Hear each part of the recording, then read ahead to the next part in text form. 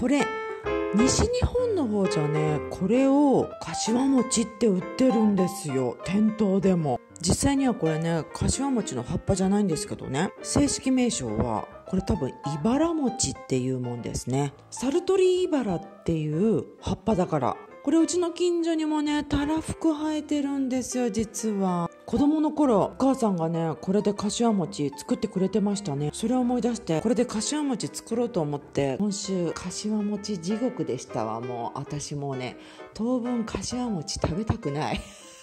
またもや。ちなみにこのサルトリーバラって3嫌いとも言いますね。秋になったら赤い実がついてクリスマスの飾り付けとかする時これ一緒に飾り付けしたいから秋口ね取りに行きます。自然のものだから全部の実が綺麗な真っ赤な色してるってことはまずないですね。自然のものっつうもんは。ちょっと色あせてたり黒い点々があったり日が経てば経つほど色が抜けてくるし綺麗な真っ赤っていう感じじゃなくなります。そういう時これねおすすめですよ。100均のマニキュア塗るの。赤いマニキュア。色が変色しても全然わからないしコーティングするからね強度も増してこういうこと何もしなかったら1年でもこのサルトリーバラの3嫌いの実ダメになっちゃいますけどマニキュア塗っとくと1年でも2年でも3年でもこのまま持ちますね。でこうやってねクリスマス以外にも私この実飾ってます。可愛いでしょ？まあいいんですけど今日はねこの葉っぱを使って柏餅。柏餅といえば上新粉で作るっていうのがねノーマルな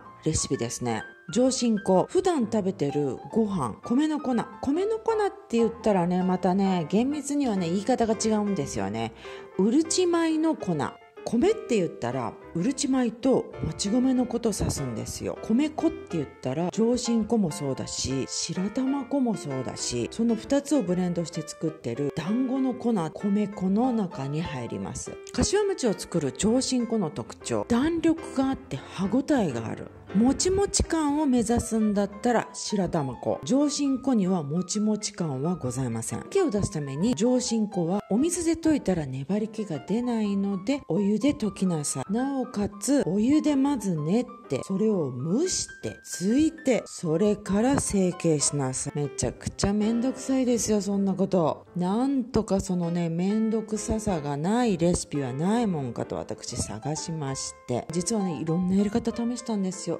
だから柏餅地獄だったんですけどいろいろ試してみてね分かったこと。まず一つ目。上新粉の特徴として弾力がある歯ごたえがあるもちもち感がない。これ全くその通りでしたわ。歯ごたえがあって歯切れがいいお団子食べたことあります？柔らかくってもっちもちみたいなお団子しか食べたことないでしょ果たして私たちは上新粉の弾力があって歯切れがいいっていう食感を求めているんだろうか？ってちょっとねハテナがついた上新粉で作ってみてほぼこの上新粉がメインのレシピで作ってみて第一印象硬い。蒸したてはそりゃね柔らかいですよ。ちょっと時間が経っただけでもうね硬い。ますます歯切れが良くなる。上新粉と白玉粉と片栗粉を混ぜてお湯で溶いてからもう成形してあんこを包んで蒸すっていうやり方でまずやってみました。これはねちょっと却下かな。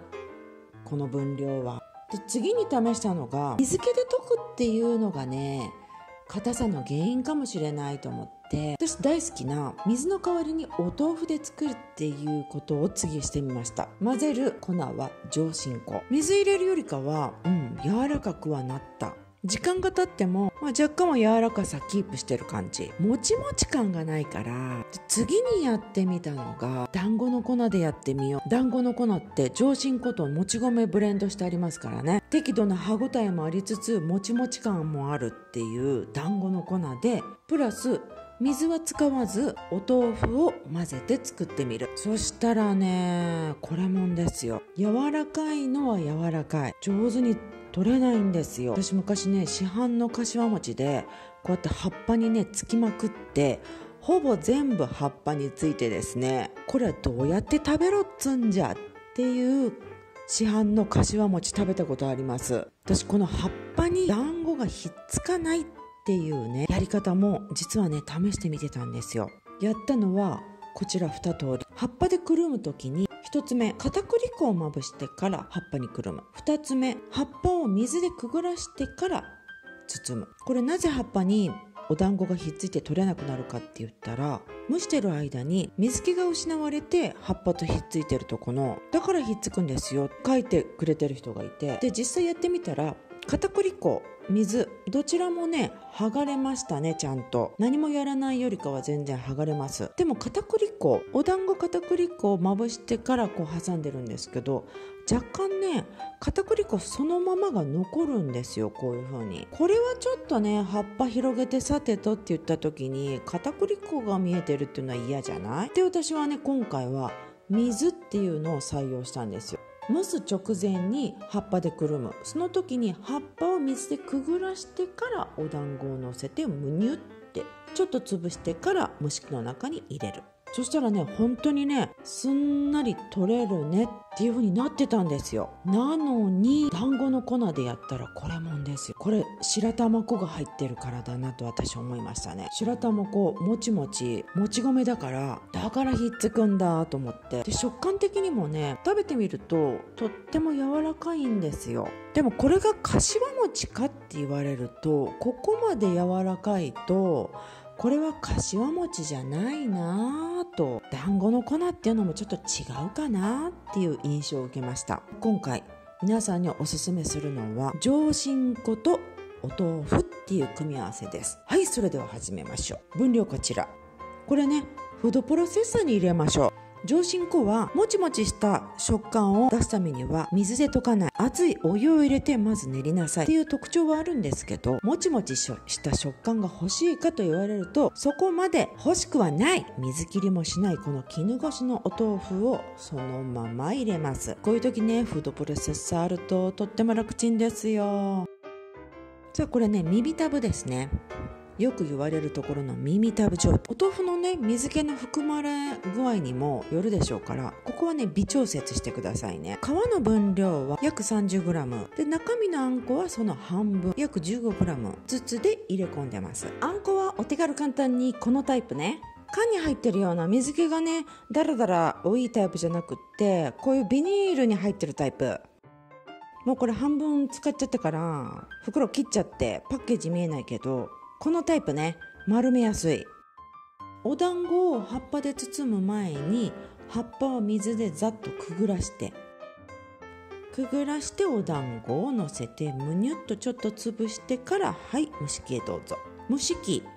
これ別にねなんかあの布を敷いたりとか蓋から水滴が落ちるからとか言って細工するとかそういうこと全くしません。蒸し時間は10分。蒸気がバンバン上がる状態になってから入れます。10分経つとこれで蒸し上がりです。じゃあこれね独特なね香りがサルトリーバラのこの葉っぱの香りですよね。私的にはこれこの香りが柏餅って感じ。これやっぱりね一緒に蒸さないとこの香りはつかないから蒸すとね葉っぱの緑色は消えてこんな茶色っぽくなっちゃうんだけどこの香りが柏餅。じゃ山がね近くにある人。このサルトリーバラ簡単にどこでも生えてると思うんで本格的なね作り方するんだったら蒸してついて成形してってめっちゃめんどくさいですけどいいですよ。簡単に作りましょう。ってことで是非やってみてください。それじゃあまた。